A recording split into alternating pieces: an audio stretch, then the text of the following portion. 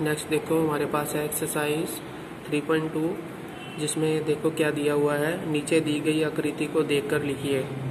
अब जो आकृति है, वो हमें ये दी हुई है, जैसे ये आपकी वाई एक्सिस है और ये आपकी एक्स एक्सिस है।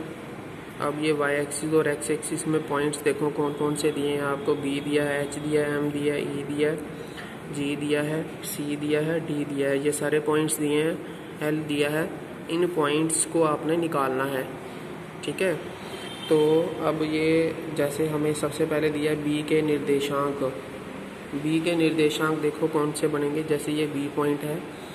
अब इसमें देखो एक्स की कितनी वैल्यू बनेगी? एक्स की बनेगी माइनस फाइव जो लेफ़्ट साइड होता है, उसमें माइनस के नंबर्स होते हैं।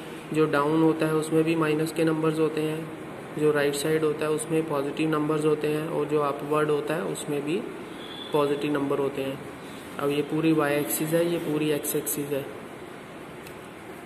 अब, सबसे पहले उन्होंने पूछे हैं हमसे बी के निर्देशांक। जो बी पॉइंट है, वो कौन सा बनेगा? अगर हम देखें तो एक्स की सबसे पहले वैल्यू कितनी आएगी? माइनस फाइव वाई की वैल्यू आएगी टू तो माइनस फाइव और टू माइनस फाइव और टू ये आएँगे बी के निर्देशांक। अब दूसरा देखो सी के निर्देशांक। सी के निर्देशांक जो है, कितने बनेंगे? एक्स की वैल्यू है फाइव और वाई की वैल्यू माइनस फाइव है तो सी के निर्देशांक कितने बन जाएँगे?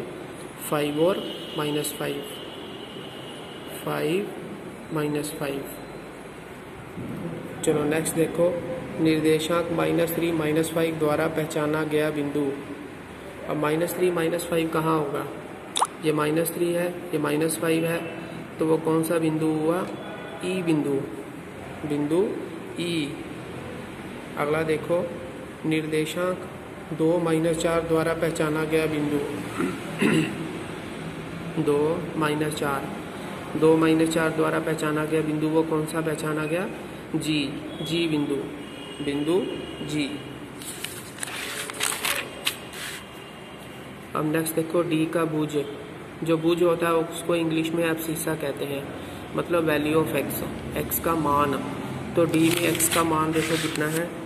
सबसे पहले देखो डी पॉइंट कहाँ पे आता है? ये है डी पॉइंट तो इसमें एक्स का मान कितना है? छ। सिक्स नंबर तो सिक्स आंसर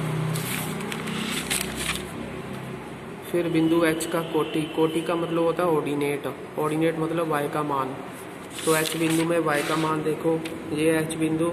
इसमें वाई का मान है माइनस थ्री तो यहाँ कितना आ जाएगा?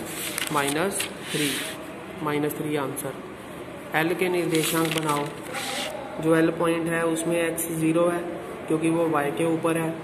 तो एक्स अगर ज़ीरो है तो वाई कितना है? फाइव तो ज़ीरो फाइव तो इसके निर्देशांक कितने होंगे? ज़ीरो फाइव एम के निर्देशांक बनाओ। जो एम है, उसके एम पॉइंट यहाँ पे है, उसके निर्देशांक कितने उसमें आपका वाई ज़ीरो है। तो एक्स आपका माइनस थ्री है। तो कितना बन जाएगा ये? माइनस थ्री ज़ीरो तो ये है आपका चित्र, आकृति दी हुई है, जिसमें पॉइंट्स दिए हैं। इन पॉइंट्स के आपने निकालना है, ठीक है? इसको प्लॉट करना है इसके ऊपर।